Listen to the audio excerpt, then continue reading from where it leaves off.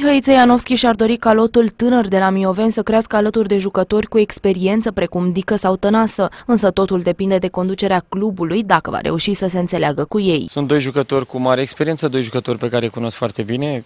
Vreau să fiu sincer față de toată lumea, eu mi doresc la echipă, îmi doresc ca valul tânăr să crească lângă jucători cu experiență, jucători cu meciuri în uh, prima ligă, cu jucători cum e Emil Dică în, uh, cu meciuri în Liga Campionilor, dar uh, din nefericire nu depinde numai de mine, depinde și de conducerea clubului dacă vor reuși să se înțeleagă în ceea ce privește latura financiară. Repet, eu mi doresc pe amândoi, Acum rămâne, rămâne la atitudinea conducerii dacă, dacă va reuși să-i și aducă. CS Mioveni va mai disputa încă un joc de verificare vineri, începând cu ora 19 pe teren propriu în compania formației SCM Pitești.